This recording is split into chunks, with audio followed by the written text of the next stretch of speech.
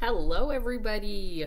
So, we have the Maccabiah Games coming up soon, and uh, I wanted to do a story time that would help pump us up and give us some ruach, some school spirit for this event. So, the book I chose is by Andre de Grasse, who is an Olympic medalist. And he has a great book called Race with Me about the joy of running, about pushing yourself and doing the best you can. So, this book, Race with Me, is by Andre de Grasse and Robert Budd and is illustrated by Joseph Osei Bonsu.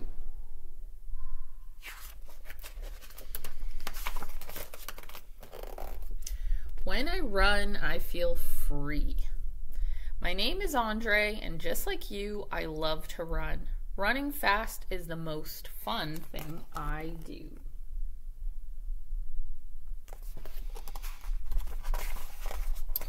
I prepare for racing every day. I train my body to be fast and my mind to be calm. There's a lot that goes into training, but I'm not alone. My coach watches my progress and gives me new ideas to try. My teammates and I inspire each other to keep trying, especially when things don't go perfectly. We are all friends and we push each other to win.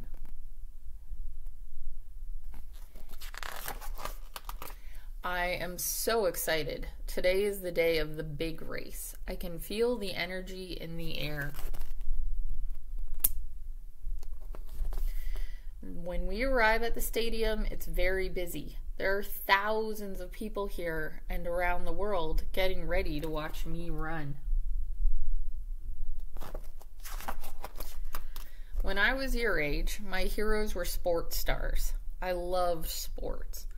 Soccer and basketball were my favorites. I went to sleep dreaming that I was a famous athlete playing my best game in a packed stadium.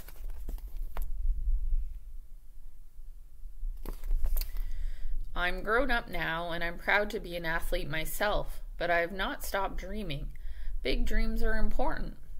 It is my dream to be the fastest person in the world. My coach tells me the race is in an hour. As I walk toward my dressing room, I think about my first big race. In high school, my friend invited me to a track competition. I had not run a race for years, but I thought it would be fun to try something new. The other athletes were dressed in racing gear. I didn't have the right clothes, but I didn't let that bother me. Everyone got into position on the starting blocks. I had never even heard of those before, so I stood at the start like I was standing at first base getting ready to steal second.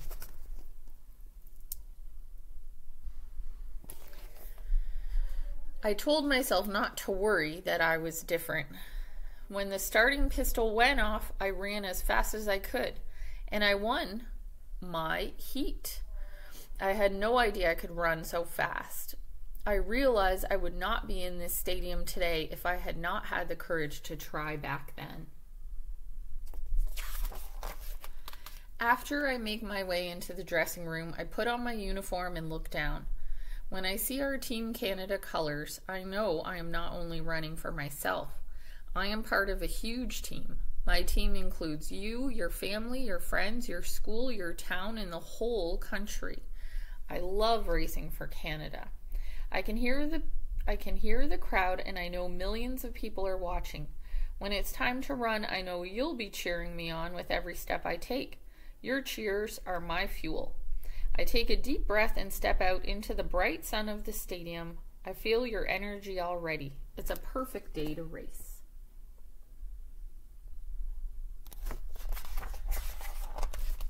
Everyone gets nervous. I don't let that stop me. I walk onto the track. The cheering is loud.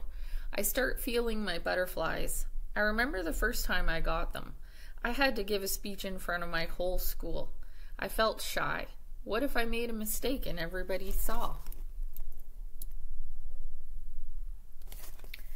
My teacher told me, don't worry about failing, just do your best. That's what success is.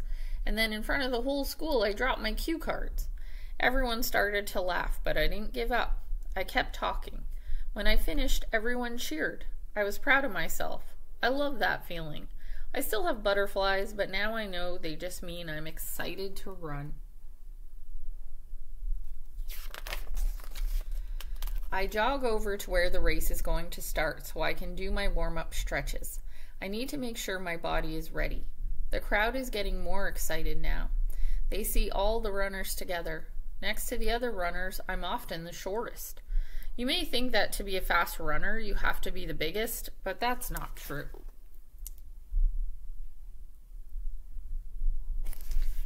When I was your age, I was one of the shortest kids in my class. I'm still not very tall, but it doesn't stop me from trying my best. Being small does not stop me from having fun. I'm proud to be me. When I run, I remind myself I have a big heart. I'm strong inside. When I do this, I feel like a giant.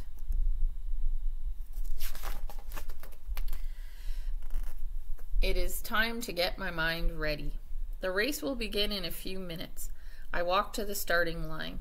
I think about how fast I'm going to run and how much fun that will be. I think about when I was in school. I loved to play tag with my friends at recess. I would pretend that I was Sonic the Hedgehog. I imagined that my feet were spinning just like Sonic's. To me, nothing is better than moving that fast. When I'm having fun, I'm at my best.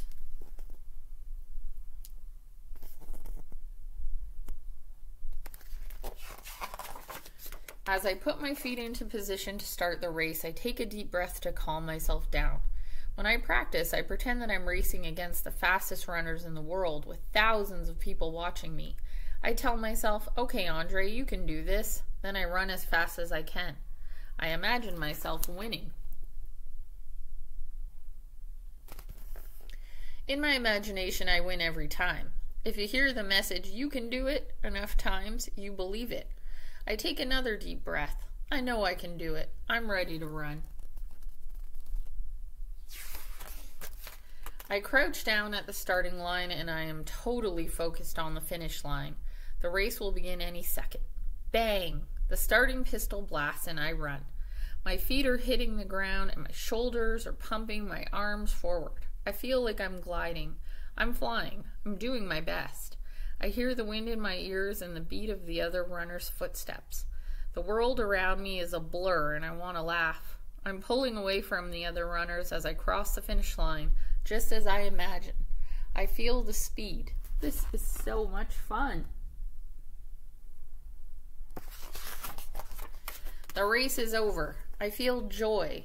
Everything was silent for the 10 seconds I was running.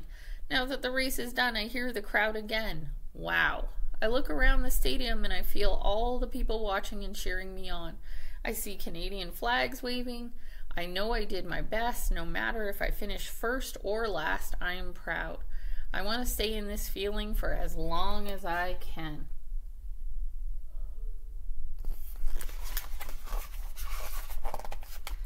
After the race, the first person I hug is my mom.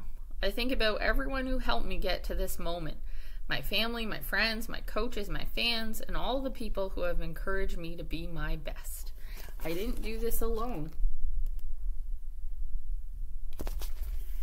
I am filled with gratitude. As I walk out of the stadium, people tell me that they felt like they were with me as I ran. I feel the love. I can't wait to do it again. For you, for me, and for all of Canada. I know you are with me. That is such an inspirational story, and I hope that gives you some ruach and you feel like doing your best at the Maccabiah Games on Friday. All right, everybody, have a great day. Bye.